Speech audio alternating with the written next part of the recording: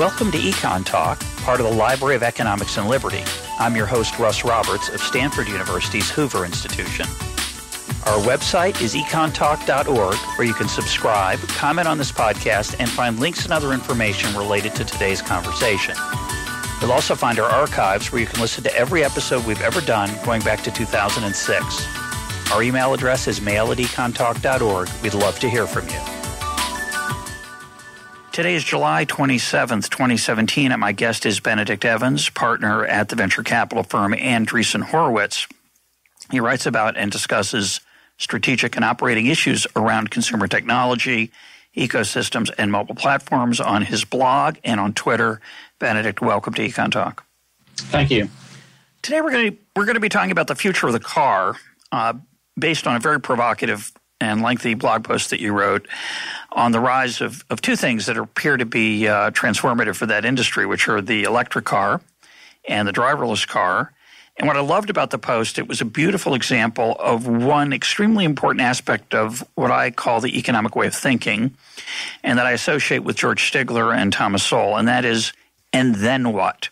That is, something gets put in motion, something happens, something changes, and a lot of people think, well, that's the end of that. And what a good economist does, and what you did in this blog post, is start thinking about what are going to be the implications for a much wider range of stuff, uh, in particular about the consequences of more electric cars or more driverless cars, what you call uh, second and third order effects. So I want to get started with electric cars. Uh, how might they change things? Well, I think there's sort of there's two sets of things to think about here. The first is that an electric car doesn't so much get rid of the gas tank as kind of rip out the spine of the car. So it's not that you get rid of the gas tank and replace it with batteries. you get rid of the internal combustion engine and all of that associated systems, and you get rid of the transmission system and the gearbox, or most of the transmission system. So you probably have between five and ten times fewer moving parts. And that obviously has an awful lot of consequences inside the car industry, which are kind of the first order effects. Um, it has fairly obvious effects on the kind of the supply chain and also on things like um, companies making machine tools, which is a big part of, of the German industry. Um, but then the sort of stuff companies, around that. I'm sorry, companies making what? Machine tools. Oh, machine tools, sure, that work on the cars, yeah yeah, like the people who make all the stuff, or the, the machine tools that make all those moving parts inside the gearbox um, have a problem. Um, but then you sort of start, start thinking, well, what about things like gas stations? So there's 150,000 odd gas stations in the USA. Um, gas is sold at almost no margin. They make their money from everything else. So it basically means salt, sugar, and nicotine um, in kind of shiny plastic packaging. And some portion of that is an impulse purchase. Um, and if you're never going to a gas station again, which basically you, will only go there if you want the salt, sugar, or nicotine, you won't go there, go there for gas anymore. Um, so what happens to sales of those? Something over half of sales of tobacco in the USA um, are sold in gas stations. Some portion of that is an impulse purchase. There's various sort of suggest studies around what pricing changes and what availability and packaging changes due to tobacco consumption. So um, there's a, I thought that was kind of an interesting consequence. Um, there's another, um, perhaps back more directly related to cars, around um, repair. So, um, as far as I can make out, something around half of um, repair maintenance expenditure in the USA is on the stuff that's directly related to the internal combustion engine, like the oil change in the transmission and everything else. The rest is like, you know, you need tires or bodywork or the HVAC brakes or something. So there's other stuff that will be the same. But um, again, you go, you will have many fewer moving parts, you will have many fewer failures. You won't need an oil change because there's no oil. the, the radiator fan belt won't fail because there's no radiator. Um, so you get a radical simplification in the mechanical mechanics of the car, and therefore a lot of the maintenance expenditure goes away. And of course, that is actually the economic support for a lot of the dealer network as well. Um, that's where they make the money. So you've got these kind of rippling out effects around the stuff that's sort of the support infrastructure around the, the gasoline car, um, which will go away. You know, the the adoption of electric cars is really a question of when rather than if. It's a function of battery pricing, and battery pricing is kind of a function of scale. So there's a circularity there, or virtuous circle. Um, we are now at the point that we have expensive, uneconomic electric cars. We will get to the point in the next five or ten years that electric cars become cost competitive with gasoline, and how, then it's just a question of time uh, before the whole base recycle cycles out. How confident are you of that? That it's a five to ten year process? I mean, oh well, so, so there's two processes here. So there is how long does it take to get to the point that um, an ordinary boring car is cheaper to buy as an electric car. It's cheaper to buy an ordinary boring electric car than to buy an ordinary boring gasoline car. Um, so that's how long that, and that's a question of battery pricing, really. How long does it, and, and scale. Then, how long does it take before all new cars on the market are electric? How long does it take before all the old cars cycle out of the system? And that kind of depends on public policy because it depends on what kind of incentives you put in, the government puts in place to do that. Um, but that feels like a, you know, 20, 30, 40 year process depending on how aggressive you are on, you know, going from the fifty thousand dollar electric car to the ten thousand dollar or the twenty thousand dollar electric car, and how what you think the lifespan of existing vehicles is, and so on. So it's not something. It's not that it won't all be done in five to ten years. It's more like it will really start get started in five to ten years. I guess um, is there any issue? There are some things that are simpler about an electric car, which means that there won't be the repairs that are necessary for an internal combustion engine. Are there some things that are more complicated in an electric car? Well, there's more software. Um, so, and then, and by extension, there's more computing. Um, but that's kind of solid state. It's not moving parts.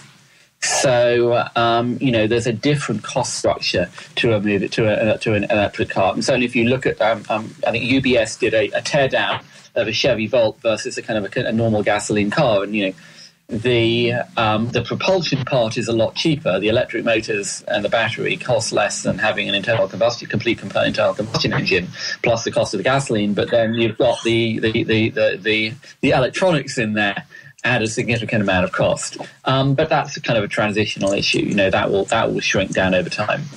Your point about uh, the margins of of dealerships, I I have heard that before that they don't make much money on the cars and they make increasingly less as information becomes more widely available and people shop more wisely. And the internet's really, I think, brought those margins down dramatically. Um, and so the, the claim is then that they make their money on the repairs. Of course, if the repairs go away, it's possible that the price of cars will be higher, that those margins will have to adjust to uh, make that worthwhile if there are still places that people show up to buy cars at. Yeah, I mean, it depends what the purchasing model looks like, doesn't it? I mean, obviously Tesla is trying to go direct. It's not clear that everyone will be able to go direct. Right. Um, now, of course, there's, a, there's a, now there's another effect which comes when one comes on to autonomy, um, which is that there will, if there are fewer accidents, then again there will be there will be much less repair work as well. Um, for sure. So, and that doesn't need full autonomy. We can maybe go on to talk about, you know, different kinds of autonomy. But, you know, the holy grail is the car that doesn't have a steering wheel or the truck that doesn't have a human cabin. But you don't need to get that far before you start reducing the accident rate really significantly. And also, you don't have to have very many vehicles that never crash into anything before the accident rate starts going down. Yeah, we're going to, we will get to that. I want to stick for, for a moment, though, to the electric cars. What do you see? and you speculate a little bit in the piece on this, but what do you see as the model for how people are going to be charging the cars? Obviously, one of the challenges, at least right now, is the charging takes, takes place over time. So you're not going to show up at a gas station with that impulse purchase opportunity to gas to charge up your car. You're going to have to plug it in somewhere for a relatively longer period of time. Is that going to change? Do you think? And how might people um, charge their cars in a world where, where electric cars are, are more common. There's no question there's a problem here, or a challenge, depending on how whether how, how you want to talk about it. Um, and yes, you don't charge quickly, and we're not on a. There's not a kind of an imminent timeline to being able to fully charge your vehicle in five minutes, the way you do with you know with with, with gasoline. Um, so there's a bunch of options. One is that you charge at work. You have charging stations in car parks. You have charging stations in supermarkets. Um, how far you scale that is a challenge. Um, this is actually, I think, this really becomes a, an urban density question because if you live in, if you have somewhere where you have your own driveway or you have your own garage, then there's just you've just well you've just got to pay somebody a couple of hundred dollars to put a charging point in your home. Um, where I used to live in London, I didn't own a car. If I had owned a car, I don't think I would ever have parked it in front of my front door. It would have been somewhere within five minutes' walk if I could find a space. And even if it was parked in front of my front door, it would be parked on a street across a sidewalk, um, you know, 500 yards from a pub where there might be people kind of walking past, and I kind of might kind of collect drunks on the sidewalk if I had a power cable strung out of my front door into my car. So, um, you know, yes, there's real practical questions around what charging looks like. Um, related, frankly, to the real practical questions around what fueling looked like hundred years ago. Yeah, I guess, I guess uh, what I, what we want is the same thing I have on a trip that I use when my I worry about my iPhone not lasting an entire day. I carry a small battery that I can recharge it with in the middle of the day if I need to. It's hard to imagine that will happen for a car. Uh, well, it do, it, we do actually have that in a tra- traditional sense at the moment. So um, you have cars that have a gasoline range extender. So, like the BMW i3, um, it does as it might be 100 miles, but then there's a you can get an option to have a gasoline pack that will give it another 75 or something. I forget what the number is. So there are all sorts of kind of transitional solutions to this. Um, but I mean, I just I kind of have in my mind kind of images of people doing kind of long distance endurance rallies in automobiles before the First World War, and the photographs of these cars they've all got bundles of like three dozen tires strapped to the side of each each side of the vehicle, because of course the tires didn't like tires were not very good then. Right. So you know these kind of, these things get solved. There's, it's a thing to solve, but it will get solved. So it could be like the Kindle uh, instead of going for 300 miles, it'll go for 3,000, and I'll only need to charge it once every three or four months. Well, I think that would be that, that, that, I don't think we're any close to a battery technology that will do that unless you're thinking about resurrecting nuclear. Um, but um, I mean, there's also a psychological issue here. So um, you also have to ask, well, yes, your car could drive maybe two or three hundred miles between being fueled, um, but how often do you actually need to drive 300 miles? You know, what is your actual average daily or average, uh, or even your average weekly consumption? And you know, back to my example, if I did, was still living in Kentish Town with a car, I would never drive. I might drive 300 miles once a year. Right. So, um, what happened with phones is that you went from having to charge once a week to having to charge once a day. And as long as you can charge it overnight, you're okay. If, it, if it's more than if it's more than overnight, then that becomes a problem. And it's also. It's and it's also your point, though, about where that charging station would be. If, if, it was, if it's once a month, you wouldn't mind driving across town to a charging station, and it would charge it yeah. in ten no, I minutes. Don't, don't, I, I, don't think we have anything in sight that would get us to charging once a month. I'm, I'm more kind of thinking of the other end that with phones went from charging for once a week and to charging once a day, but actually that turned out to be okay most of the time. And the same thing for cars. Um, if it can't go for 300 miles, it can only go for 100 miles without being recharged slash refueled. Well, maybe that's actually okay for most people. You know, your, your gasoline car can go for three or 400 miles on a full tank, but actually you never do that, or very, rarely do that. So maybe you'd be okay with a vehicle that actually only does 100 miles on a charge, because actually you'd never, you never go more than 100 miles. Yeah, I'm thinking though about your urban density problem now. If I don't have a driveway, uh, the once a day problem might be a might be a barrier. It is, but uh, uh, kind of back to my point. So imagine a so it's a phone that's once a day. If you have a car that can only go 100 miles on a charge, but actually you only drive 50 miles a week, then charging it once a week is kind of okay. Good point. And that's particularly, and that's going to correlate with people in a high density area. Yeah. Where if you live out in the boonies, yes, you might drive 50, 100 miles a day, but you're going to have a driveway. Yep. I like the point. There's, there's, a bunch of variables here. Yeah, yeah. What's what's the Elon Musk vision of the battery in my house that you allude to in that piece? Um, what do, what do you think he has in mind? So, well, so there's two answers to that. One is Elon Musk wants to do anything he can to get battery volumes up in order to get battery prices down. And so, anything way, way he can think of to get people to buy more batteries um, is good. Um, and that applies both to going from a low volume car to a high volume car to talking about trucks potentially, but also trying to sell you another battery. Um, and frankly, the solar thing applies to that as well. You know, why buy a battery? Well, if you why buy the, the, having solar panels gives you an incentive to buy a battery in the same way. Um, so that's a large part of the story of his solar company. Um, so that's just kind of a scaling point. I think there's kind of a more, slightly more interesting conversation longer term when you think about what charging infrastructure looks like. So, you know, we talked about charging these cars. um, you have to think about well, what does that do to like power generation requirements and also the local power distribution grid? Yeah, that's my that's my favorite example because as I like to point out, a Prius is really a coal powered car in some dimension in many parts of the United States, except for the fact that if you charge it at night, you can use excess capacity and you're not really increasing the amount of uh, coal of coal powered electricity generation. But as it gets as more and more people adopt cars that are electric, that won't work. Yeah, well, it depends where you are. So, um, if you're in France, it's a nuclear powered car. Um, I mean, there's, there, clearly, there's a question around excess capacity, around the what, what, the loading of the power generation system looks like and when you're charging it. So, if you're charging it overnight, for example, um, that also is kind of comes to the point of the battery because the battery can draw the excess power and then give it to your car when you need it.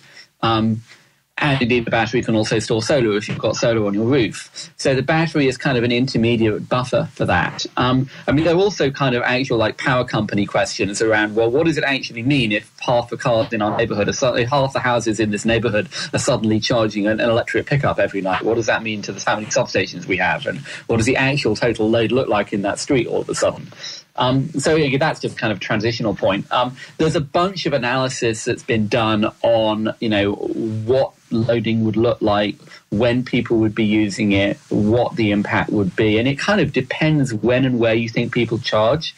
Um, and what time, of course, that's kind of the crucial point. But also, what does the power infrastructure even look like in that country? And this is that point about France. Well, it depends.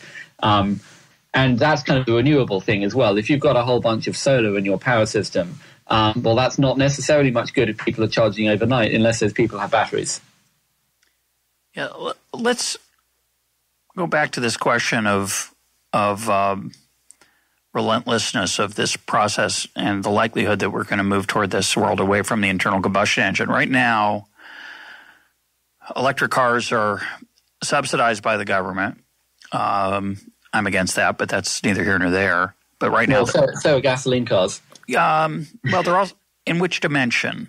And cars. In which dimension are gasoline cars subsidized? Well, it depends. It depends where you are. Um, but you know, I, I, I, I, don't want to dig into that. I mean, it's just. You know, I think that's kind of a short-term question. Well, I mean, uh, pe- there are certain things. I, I, always think it's funny when people say we should have a carbon tax. And it might be a good idea, uh, but we have a carbon tax. You could argue it's too low. Uh, we tax gasoline quite a bit, and you point out, I thought, also cleverly in your piece that one of the impacts of this is going to reduce revenue um, for highway building and other sort things that people use with gasoline uh, taxes. But the point is, is that right now there's a pretty heavy subsidy to the purchase of an electric car. Uh, if that went away, do you think that the uh, technology improvements in battery pricing would sufficiently uh, that, that, we might see going forward are going to be sufficient to make a drive, an electric car uh, competitive with an internal combustion car in, in, the next five to ten years? No question. Um, you can argue about the timing, um, but the kind of the cost track of lithium-ion batteries is is is pretty clear. Um, you know, quite when it reaches quite what price in order to be cost competitive with gasoline is still kind of a matter of opinion. There's a spread of estimates. Um, and clearly, having a subsidy on top of the purchase price of the car helps that. Um, but the underlying trend is the same. So that's going to be very interesting. And, and of course, that's going to have, if that really happens, uh, the geopolitical Im- impact is going to be quite dramatic. Um, large parts of the world, we've been mainly focused on, I think most of us in this conversation, you and me, the two of us, I've been thinking about the United States and the drivers and gas stations in the United States, but of course, the nations that that use um, that supply the oil to the world uh, would would have a very different uh, future in a world where where uh, the internal combustion engine uh, was not relevant, and one would expect then uh, to play economist. Uh, one would expect that that their behavior would change dramatically if they thought this was imminent. So maybe they don't think it doesn't seem to be changing. It is price of gasoline's lower right now than it's been in a while, but uh, you'd expect it to be maybe lower still because just to take the most obvious example, Saudi Arabia is sitting on enormous reserves of of um, of uh, crude oil still, and if it turns out that the internal combustion engine is not going to be a viable uh, market product in the marketplace, uh, the value of that is going to be lower. Yeah, so there's a bunch of things to think about here. Um, the um, the portion of global oil production that goes to cars is something like forty percent, I believe, from memory. Um, now, removing that demand over a period of anything between twenty and forty years, maybe longer, um, and of course, removing it where um, you know it will be a different rate in different countries. So it's a relatively you know it's not going to happen overnight, um, and then there are other uses for that um, production as well. So you know it's not like there's going to be a guillotine. Um, there's also um, I mean, you know, to, to really play economist, of course, if you were to look at Venezuela, you would argue, well, what good has oil been? Um, yeah, so, you can you can mess it up. You can have something valuable and not use it wisely. Or, or well, I mean, you know, there's a whole cost disease problem that you know just having that, ass, you know, the the the, the, um, the curse of having assets uh, of, of, having um, natural resources. So you could certainly make an argument that you know, actually the um, you know there maybe it might do more harm to um, people selling luxury apartments in New York City than it might do to many of the people in those countries themselves. Um, it's a great that's, point. You know, that, that's an economic argument no, it's a great and, point. and a development argument. It's not a, it's not it's not a technology argument. Um, I mean, I think there's another you know just a, a, on that point, incidentally, it's just sort of worth looking at the other side that um, many of the particularly you know, not so much um, Saudi, but if you look at, for example, Nigeria. People, the, the, the relevant petrochemical for a lot of people in Nigeria isn't gasoline, it's kerosene for lighting. Mm-hmm. And so there, there is a solar story. Um, and sort of the growth of solar in emerging markets as cheap, um, healthy energy, because you're, you know, you're sitting in a hut burning um, animal dung or burning kerosene, um, and that's how your kids are doing their homework. Um, well, now you have a solar panel um, with an LED light. And so that's a way in which um, petrochemicals uh, affect people's lives and are going to be changed by, in fact, some of the same technologies. Um, that's got nothing to do with cars. Yeah. Uh, let's let's move on to driverless cars, which uh, I, I, have to confess I'm somewhat uh, endlessly fascinated by that, the possibility of it and, and the implications. And I, one of the things I really liked about your article is that I think most people have misunderstood the full scope of um, of the implications of, of driverless cars. Uh, they kind of they get the idea that there are going to be fewer accidents. They get the idea that there might be fewer people working as taxi drivers, Uber drivers, or truck drivers, and then they have some idea about uh, maybe people won't be buying as many cars, which I think is um, is much more complicated. But you spin out quite a few uh, more interesting implications than those simple ones. And I and I think and some of those implications reminded me of some ideas that I think uh, that people misunderstand, which we'll, we'll, get to. Not just don't don't notice, but I think get it wrong. Uh, but I want to start in talking about driverless cars with the uh, different levels of autonomy that you alluded to earlier and that you mentioned in the in okay. the piece. So that's a good way to frame this. So the industry, car industry, talks about five levels of autonomy. So level one to level five, or L1 to L5. Um, level one is the mechanical cruise control that came in in the late 50s and early 60s. So you put a switch on it on your on a stick, and the car will go at 69 miles an hour right into the truck in front of you. Um, so it's just a purely mechanical thing. Level two is you have a little bit of radar to that and maybe um, or image sensor to that, and so you will slow down if the vehicle in front slows down, and you will maybe give a warning if you start straying out of your lane, purely based on looking at the white stripes on the road. Um, this is also basically mechanistic, and it's being done in software, but there's no intelligence to it. Um, this is what you get if you buy a high-end German car or if you buy a Tesla. Um, and of course, um, Tesla, until very recently, was buying exactly the same technology off the shelf from an Israeli company called Mobileye that BMW and Mercedes were buying. Um, and, the, and, Tesla were just calling it autopilot, but it was the same thing. Um, and yeah, that will drive straight into the back of the truck in front of you slightly less often, but it's not in any sense intelligent. That's level two. Level three, um, it actually has some sense of its surroundings um, it can look around itself. It has a sort of 360 degree awareness of a very basic kind. And you can give it a direction and it'll take you there. Um, but you need to be sitting in the in the driver's seat with your hands about an inch away from the steering wheel at all times, because at any point it might get something wrong, or it might just stop and say, "I don't know what to do now." Um, level four, you can read a book. It, it might stop and say, "I don't know what to do," but it almost certainly won't. Um, Level five is just a question of level four, but with more nines of reliability.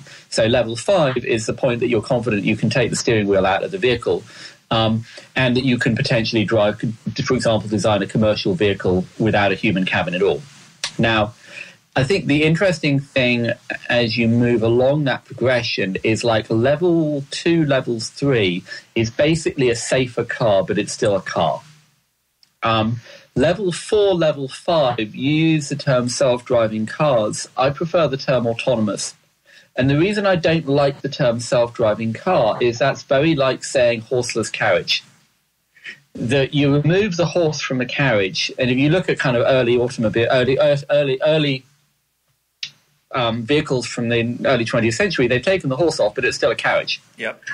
Um, and in the same way, you remove the person, but it's still a it's still a car.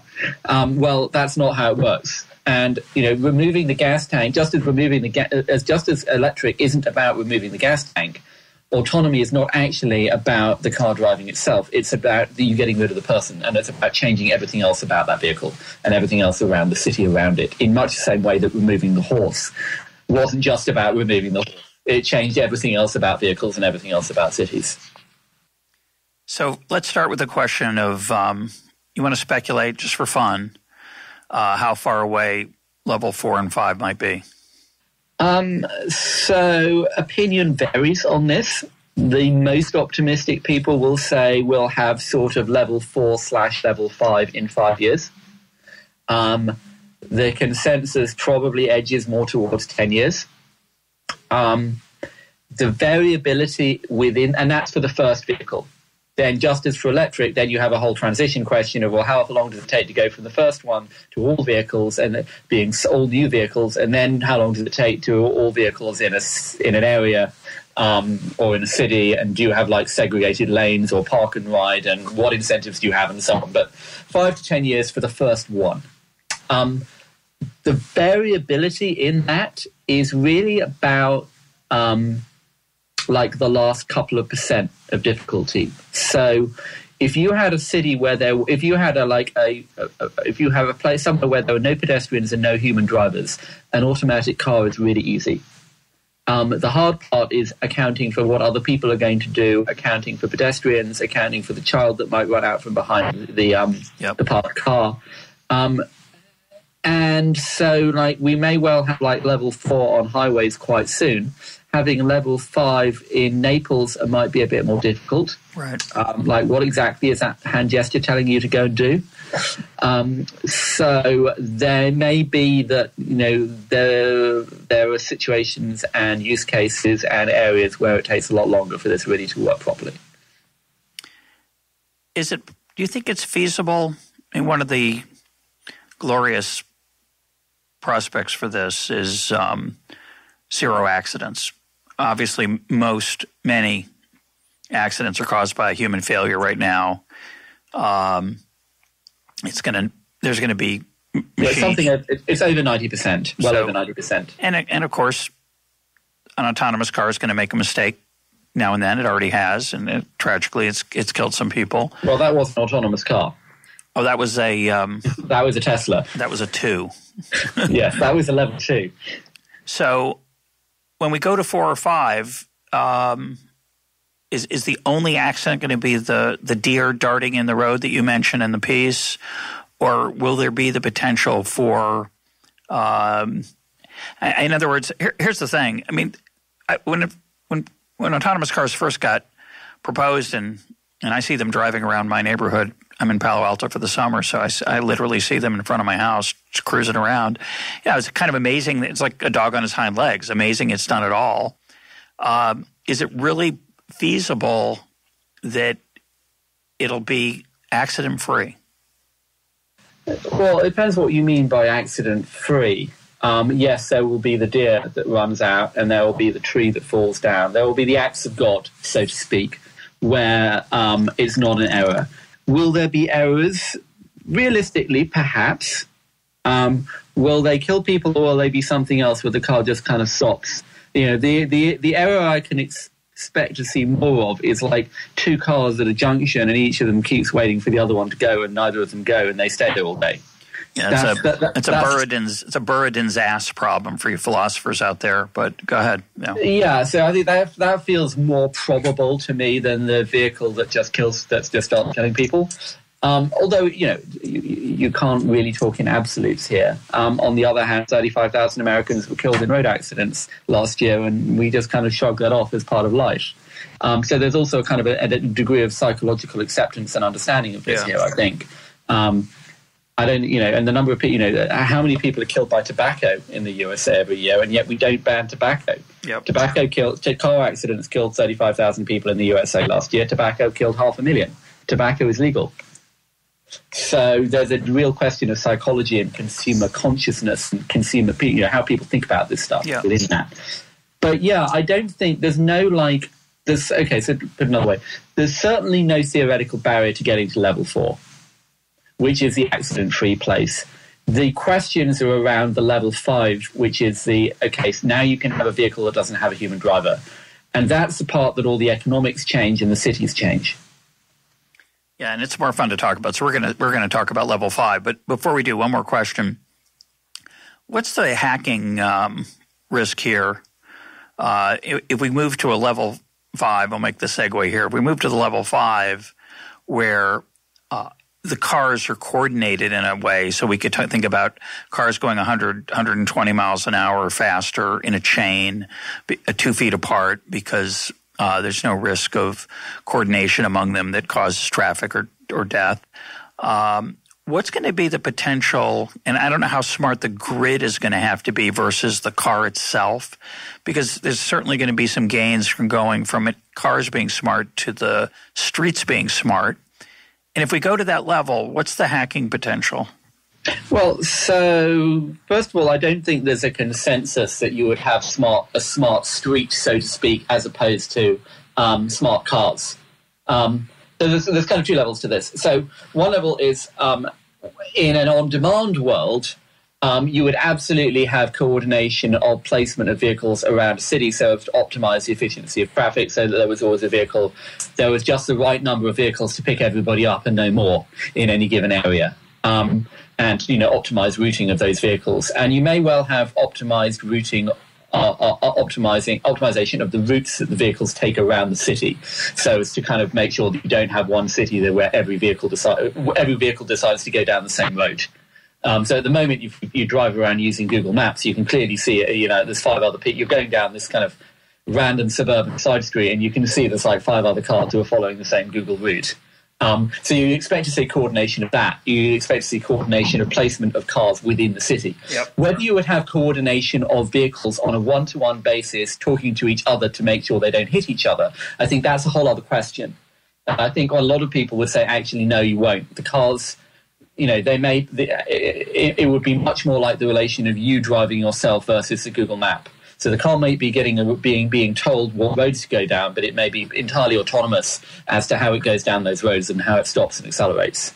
Um, their opinions vary on that. So some people think you would have everything kind of managed done centrally, but I think most people think it would be the car itself that would be making that decision. Now, clearly there's a threat of the car itself the cars themselves being hacked. You know, they are network connected computers designed by human beings. And, you know, every time you make something idiot proof, God creates a better idiot. So um, you've got one can't guarantee that. Um, but at the same sense, I don't think one can just say, well, we won't do anything just in case something goes wrong. Yep. I agree. I just wonder, you know, I think the there's a temptation, I, I, think, among technology people, and to just sort of wave their hands and say, well, this problem will get solved because it's always been solved and we're just smart and we'll think about it and we'll work it out and we'll fix it. And then there's the similar uh, anti technology people who say, well, then a bunch of evil people are going to mastermind all the cars crashing into each other at once. And neither of those is quite capturing what actually goes on in human innovation. Uh, I'm just curious about how worrisome you think that latter problem is. I know it's not the uh, the movie version where uh, an evil genius whispers the wrong word and all the cars hear it through their sensors and it and it ruins their computer systems and they all drive off off cliffs. But is there some in between scenario that's a little bit frightening to you? Um, so there's a whole other conversation around how like how the sort of computer security threat environment has changed. That it's no longer you know a teenager walks into your building with a a virus on a floppy disk or you know somebody hacks in from outside. It's now 300 people in a building in china who uh, know what school your kid goes to and send your PA, your executive assistant an email that looks like it comes from the, the head of the, the, the, it looks like an invoice from the school or something. So there's a, you know that that's a kind of another question. So yes um, it's a concern. It's kind of like it's a problem to solve once we've worked out if we can ever make this work at all though i think Say, say that again. Well, it's a problem that we'll have to solve once yeah. we've made a car that can drive itself. If yeah. we can't make a car that can drive itself anyway, it's a mood. Um, we'll kind of we'll put the firewall on afterwards. So one of the things that that people forget about uh, is your point about the horseless carriage. There's going to be a very different uh, design of the physical car. It's not just not going to have a front seat. So talk about some of the changes. Um, or everything will be the front seat, but there'll be no place for a quote driver. It might look like a you know, I don't know, a circular lounge or a, a table with 10 seats around it. Who knows what it'll look like? It'll look more like a teacup in at Disney World uh, floating around. Uh, what what are some of the changes uh, you pointed the, out? The really ob- interesting and not so obvious fact that cars are heavy because for safety reasons. So what else might change? So there's a bunch of, of kind of basic assumptions that change. The first one is that the vehicle is going to be in collisions, and obviously. Um, again, there's the transitional period where you still have human-driven cars around, and then there's a period where everything is fully automatic and you can you, you more stuff changes. Um, but in a fully automatic world, there are no collisions. Therefore, there are no there are no um, safety cages, no crumple zones, no airbags, um, or maybe much reduced. Or you design those with completely different thinking in mind. Um, and so that obviously changes the weight and the cost. It can also change what the physical design of the vehicle might look like. I mean, the design that we have now, where you've kind of got a slope at the front and a slope at the back and a trunk and so on, like the doors can be in different places. You know, the windows can be in different places. Um, obviously, you don't have the, the great mechanical lump of an internal combustion engine there, which you can get rid of. I mean, this is the uh, part of the, the point of looking at a Tesla is you wouldn't actually know it, it, didn't have a gasoline engine inside it if you didn't know to, in advance. Um, you can design with both electric and a zero accident world. You could design vehicles that look quite differently. Um, the second thing to think about, particularly if you think about on demand as well, um, is that you could design vehicles that would only go at 20 or 30 miles an hour. So today, any vehicle you design has to be able to go on the freeway because you might need to go on the freeway. Um, but in an on-demand world, the system would know where you were going, and if you weren't going on a freeway, it wouldn't necessarily have to send a vehicle that was going to do that. So you really could have, you know, pods, quote unquote, that aren't particularly streamlined because they're not going to get over 25 miles an hour. And so you're talking now, when you say on demand, you mean like an Uber type yes. uh, service without a driver. Yes. Um, so you're thinking about, let's think about what this would be. I'm going to go to the grocery. The grocery is about three miles away, so I don't want to walk. Um, you're presuming I'm, that you will ever go to the grocery yourself again, of course. Oh, that's true. Of course not. A separate, that's a separate conversation. Oh, good point. I forgot about that. right, I'm just going to whistle. That, I'm just going to whistle. But that, but that makes another point, which is how, what is it, how does this change thinking about delivery? Particularly if you're, again, if you're in the suburbs, you could very easily imagine a vehicle that kind of came and dropped a canister out on your front door when you were there that didn't even necessarily have a human being in the vehicle. Correct. Uh, yeah, it would pull up, and I would it would op- it would be like an Amazon yeah. locker. I just go in and yeah, exactly. take it out. Or I said I don't want to be there though. That's that's a huge problem. It, it needs to eject it onto my front lawn, or a, it would probably need to stick its arm into a box that I had on my front lawn. Yeah, there's a bunch of other stuff that would need to change before you could go to like before you could do all of that those kinds of things. But you know, you just got to test the assumption that you're going to take yourself to the grocery store because, of course, that the driving is a cost of delivery in the other direction. So let's take. Um, I mean, the, the, I was going to say the embedded point within this, of course, in case it isn't clear, is that if you remove the human driver from a, a vehicle, you take out at least three quarters of the cost. Yeah, it's huge. So an on-demand ride that costs ten bucks today would cost two or three bucks. And if you remove the insurance, if you're in a fully autonomous world with no accidents, then the insurance goes down as well. So it goes from ten dollars to two dollars. Yep. And so your calculation about whether you own a vehicle or whether you own one vehicle or two is going to change a great deal. And your calculation about where you might, I mean, going to the grocery store, uh, going to the grocery store not to me that's like a less interesting example. The example I really like is you're going to go out, you're thinking about going out to dinner in central, in Manhattan or central London on a night in November. And it's cold and dark and raining. And you live in the suburbs. So you can walk 10 minutes to the train station and then get a train for 20 minutes and then get the subway and you'll arrive at this restaurant an hour later. You could call for an existing car, like a taxi, and that will cost you $20 each way. Um, you could drive yourself, and then you're going to spend 25 minutes looking for parking and pay for parking, and of course, one of you can't drink because um, you've got to drive back. Um, and then you've got to walk back to where you parked the car. Well, now an on demand ride will get you there and back for $3 each way or $4 each way. So the whole way that you think about a city changes. I'm, we got started on this because you were talking, making an observation, which is very interesting. That's not in your piece about the fact that a car's design would be different if it never had to go above 30 miles an hour. And in that case, though, I probably want it to go a little faster. Yeah. In this case, you might be going faster, yes, or you might, you know, the, the car might have a bar in it, you know. Of course, there'll be no such thing as drink driving either. Right. No, it would have a bar or a vending machine or uh, who knows what, a, a TV. It'll have a it'll have a mini bar, and that'll be the expensive part of your trip. Yeah. yeah. and I, you know, I'm thinking of more of um, a surround screen of of say the whole front half of the car, which would wrap around you so that you could be immersed in uh, YouTube for the 20 minute ride uh, rather than talking to anybody or thinking an independent thought. It's a little bit of a frightening world, but it, I think it's coming.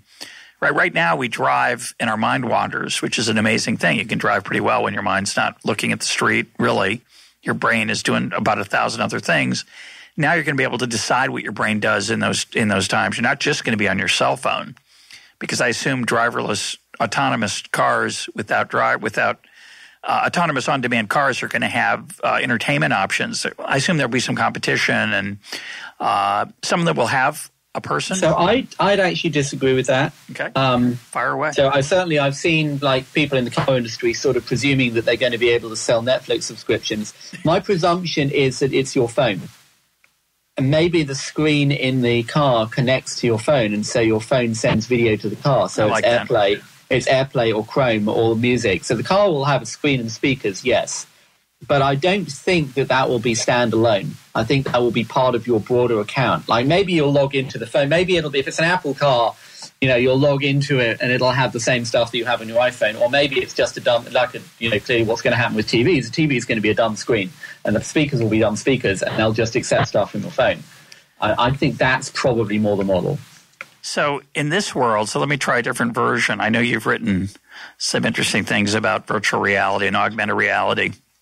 So, suppose uh, instead of a car, I'm on like a, a Segway, maybe, uh, some kind of little tiny, instead of being like a limo, I'm in the, on like a platform, uh, just a rolling platform that goes at various speeds. And I'm using my augmented virtual reality phone headset embedded chip to entertain myself on the way. The car itself isn't going to have much of anything. Yeah, absolutely. And of course, that would also be the case if it was a shared vehicle. Yeah. Um, and so this is again, this is sort of another tangent, another interesting place to spiral off in. Um, right now, um, you've got this kind of binary distinction. I mean, sort of set trains aside as a separate conversation, but you have a bus and then you have a car, which is either your own or it's a taxi. And as opposed to a bus, um, which is this big heavy thing that carries 50 people. And um, a four seat vehicle that is completely automatically controlled. So, so wind back. So I live in, I'm sort of speaking to you from Silicon Valley, obviously you're, you're Palo Alto as well. There's whole parts of the, of the world where like the density of, of people means there's a lot of cars around but the density also means that you can't support a bus network um, that runs on a fixed route at a fixed schedule, stopping at fixed points with a vehicle that's a certain size and that has a human driver. Now, one of the things that autonomy does is it sort of breaks down that binary distinction. So, um, if I step out on the street and I press the Palo Alto Public Transit app button on my phone and say I need a ride, and a pod that's two blocks away and has two people in it already pulls up and I get in and I take the third seat and then it goes off and drops someone else there and then drops me where I want to go and picks up somebody else on the way. Well, is that a bus or a cab? Is that I don't think that's a meaningful question. It's something else. But it is it is it public transit? Is it a cab? Well, it's changing what that conversation looks like. You're kind of unbundling the bus, but you're also in a sense sort of reaggregating taxis. And so you're changing how you might think about how you might move around a neighborhood like that. Yeah, um, because you can route it because you can route it dynamically because you don't have the cost of a driver. Do you think there'll be drivers, uh, not drivers, but uh, co-passengers for socializing? Do you think people will want to ride with someone who's not driving and just wants to chat them up? Well, it's just the joke that the Lyft line is the new Tinder. Um, so yeah, maybe um, it seems like a it seems like your, your your selections might be a little bit limited, um, yeah. a little bit too random. Yeah, it's true. Um, depends, you know, it depends what part of the what part of the country you're in, whether you, whether that's going to work or not. I think. So you mentioned that there's not going to be any drunk driving. There might be a bar in the car. It could certainly get. You don't have to have a designated driver. Have we seen right now in places where Uber is fairly friendly and and doing well. Do we notice that there's more drinking going on? I feel like there is, but eh, there should be more drinking. Is Uber big enough and, you, and Lyft? Are they ubiquitous enough that we can observe fewer accidents and more drinking? So, short answer, yes. Um, I don't have it immediately to mind, but there's definitely been studies showing decliners in drink driving. Um, I think, I think, and I think actually there was a reverse in Austin when they um, shut down Uber and Lyft. Um, well, I know there's going to be more drunk. There's going to be less drunk driving. I wonder if there's more drinking overall. In other words, oh, you and you and I are going to go out, and one of us is going to have to not drink. So we think, eh, it's not so much fun. Maybe is it now the case that we can both, since we can both drink, that we go more often?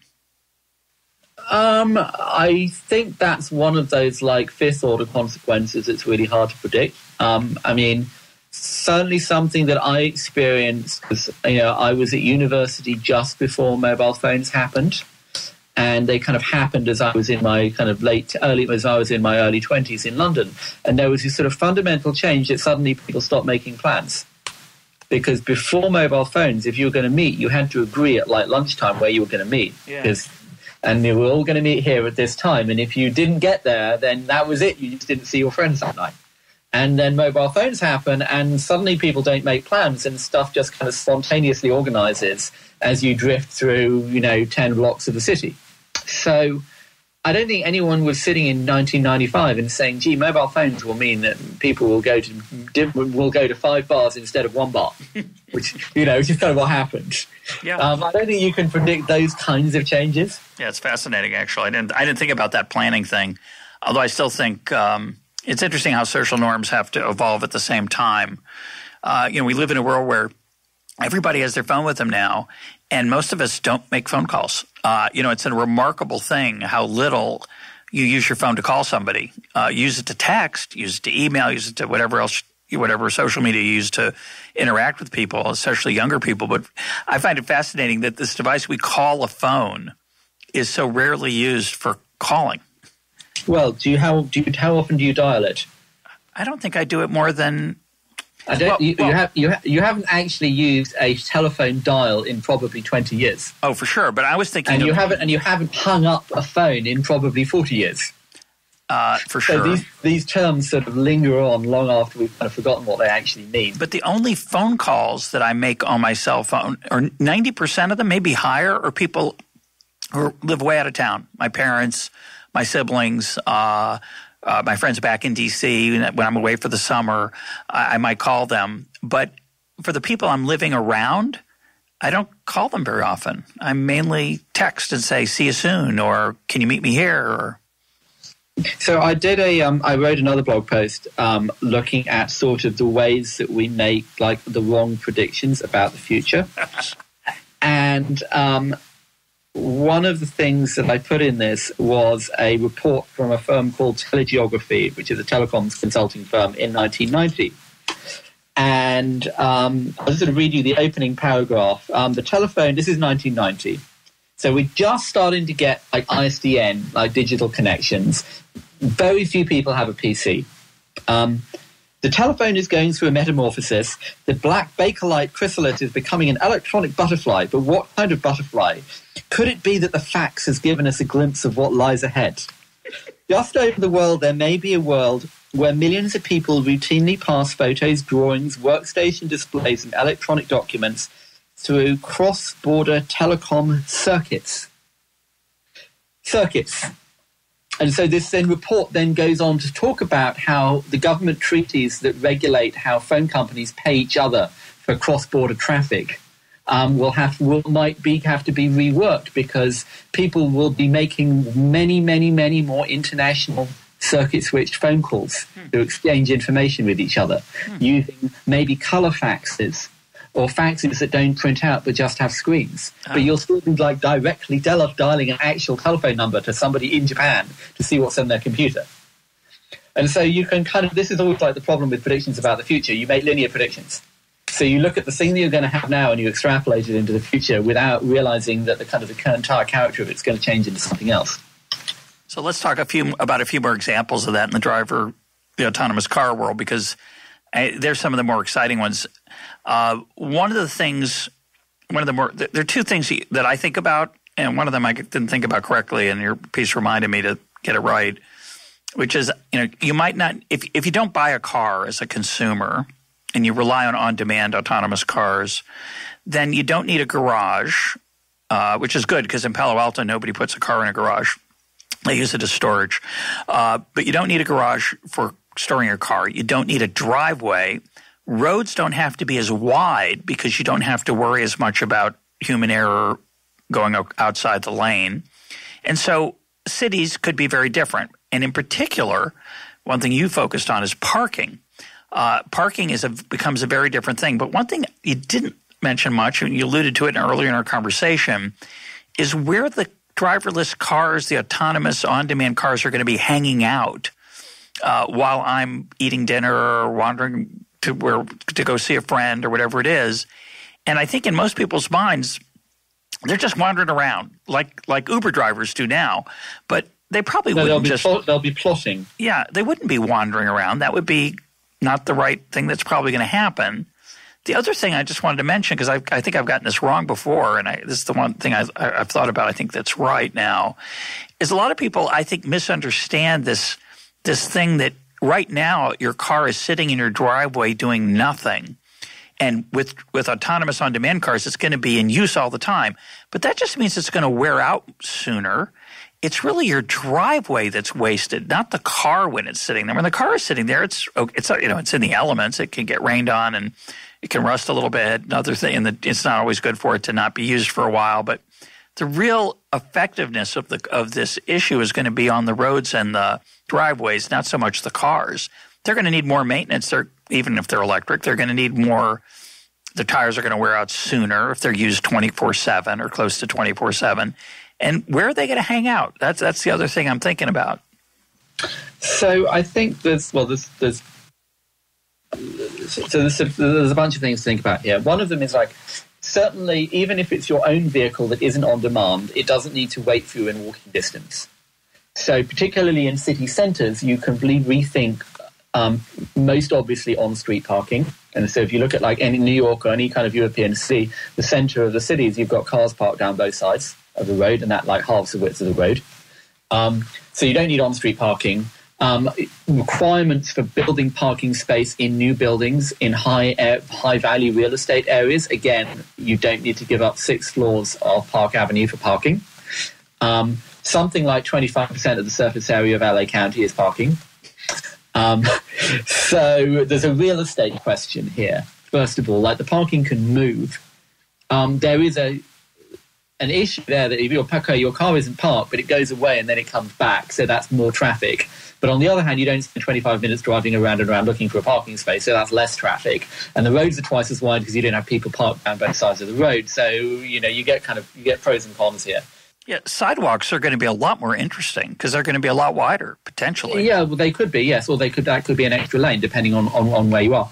Um, there's a there's a there's a utilization question is slightly is kind of interesting, which is like like the, the, it feels like if, to me it feels a little bit crude to say like your car isn't used 93% of the time because well you know eight hours of that is in the middle of the night when no one else is going to want a car either sure. and there's a whole bunch of that like you know how many people actually want to be driving around at three o'clock in the afternoon on a week on a thursday so I, it's a bit problematic to look at the total you know actually most most cars are used uh, uh, yes, they're only used seven percent of the day, but it's all the same seven percent. And actually, unless like people stop working or work at completely different times, that's not going to change. Yep. So I think it's a little bit tricky to, to talk about utilization rates overall.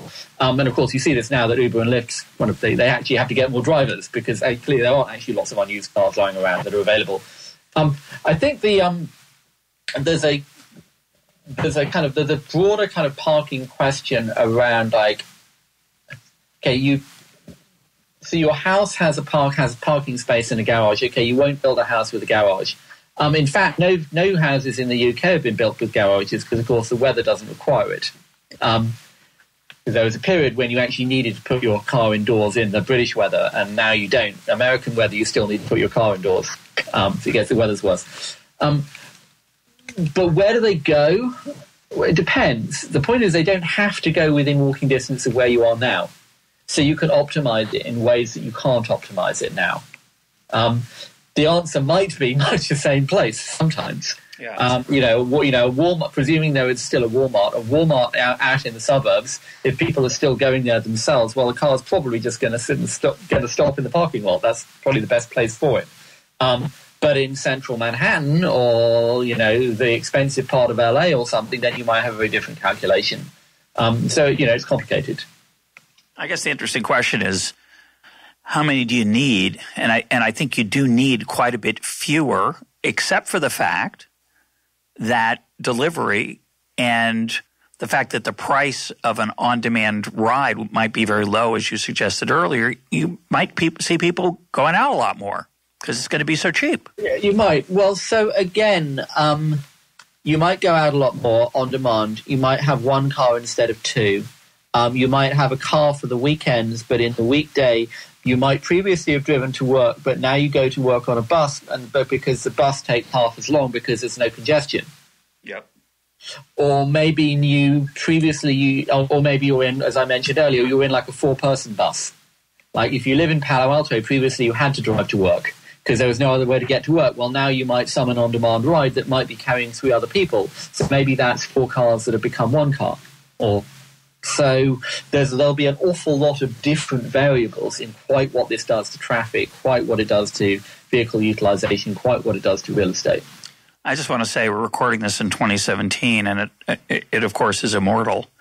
Uh, in 2027 and 2037 and 2047, people will, of course, be able to listen to old EconTalk episodes, uh, maybe just by saying, uh, "Okay, Google, Benedict Evans EconTalk 2017, and then they're going to look back on this and say, what a genius he was. Or are they going to say, boy, how clueless they were back in 2017? They didn't have well, any idea.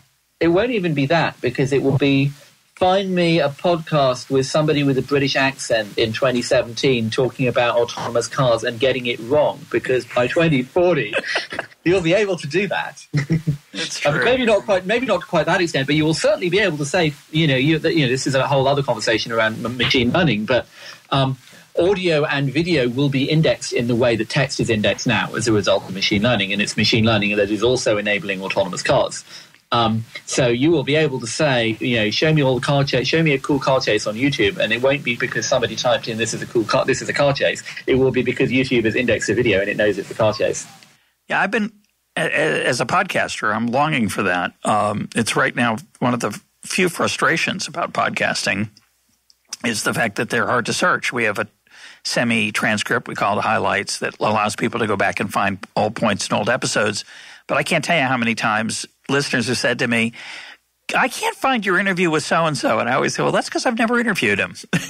Go, just, uh, on to the point, just uh, expanding a little bit on what I, what I was just saying. Of course, there won't be any car chases. So oh, think about how true. many movies from the past don't work now because of mobile phones. Yep. Well, there won't be any car chases, so you couldn't make Heat again for example, or the French, or the French Connection, the best. the French Connection, uh, all sorts of you know the world the world changes. You know there was a time when you, a movie plot point was that the car broke down. That cars don't break down. There was a time when the movie plot point was you couldn't reach somebody. Well, you can always reach people. So movies will change. For sure. The question is, are people going to enjoy, just like we like looking at period dramas about set around the Middle Ages or British royalty and the Henry VIII? Is is it going to be a, a, a, nostalgic thing to watch a movie with a car chase? Um, probably, I would think so. Well, maybe it'll be, you know, there's a joke that you know every British actor needs to know how to ride a horse, and every American actor needs to know how to look, look like he can shoot. Um, so maybe they will in the future. Every actor will need to look like pretend to, to know how to drive a car, because no one will actually know. But there will be all these actors who are kind of waving the steering wheel as though they know what they're doing.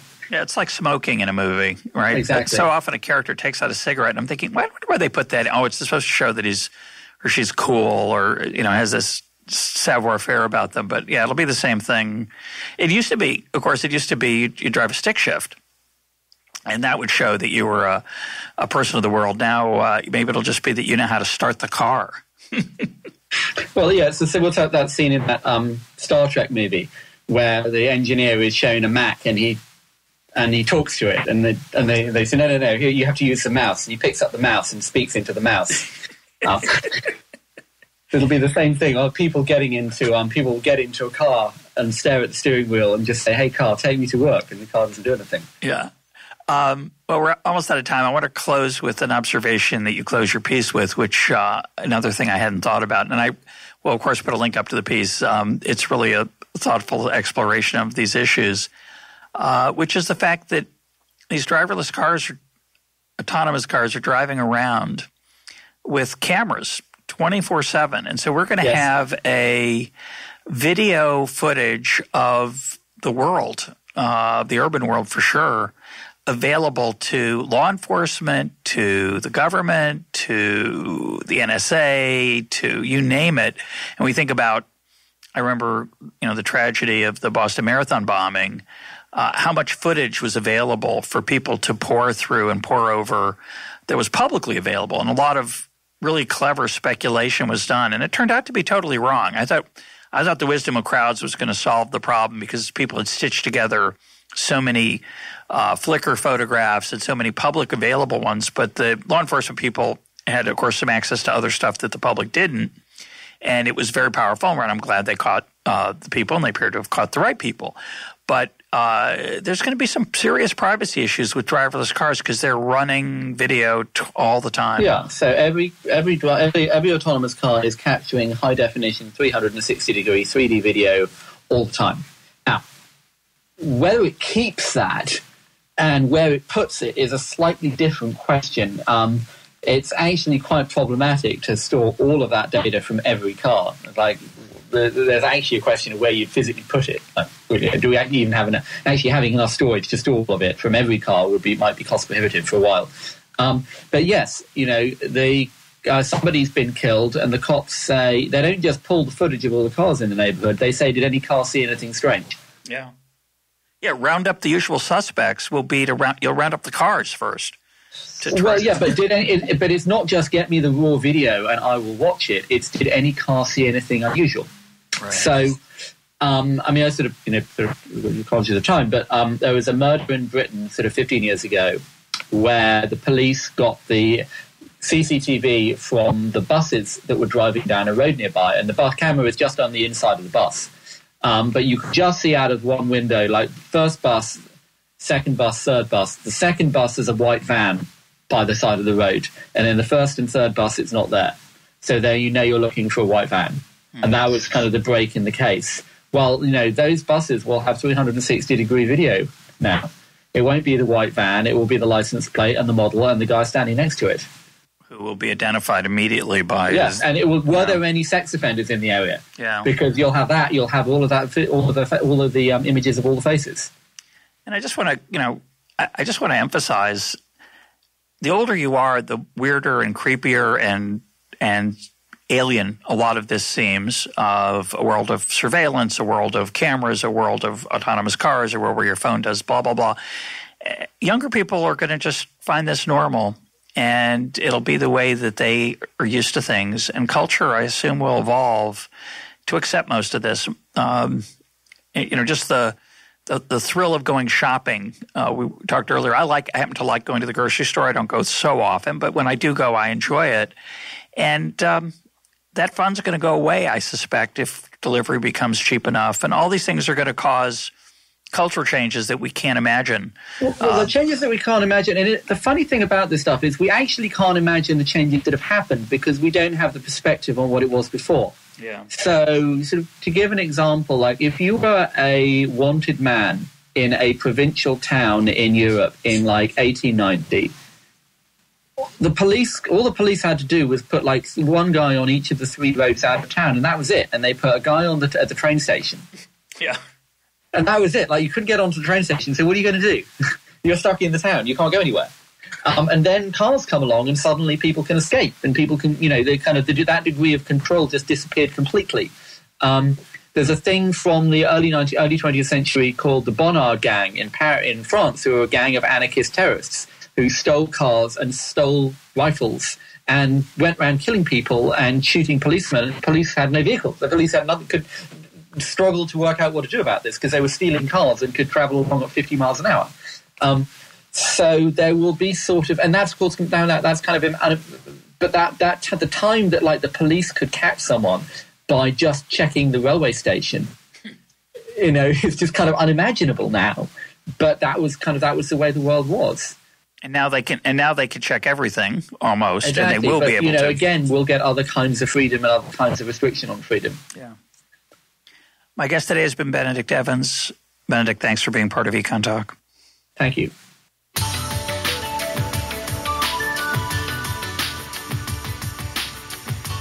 This is EconTalk, part of the Library of Economics and Liberty. For more EconTalk, go to econtalk.org, where you can also comment on today's podcast and find links and readings related to today's conversation.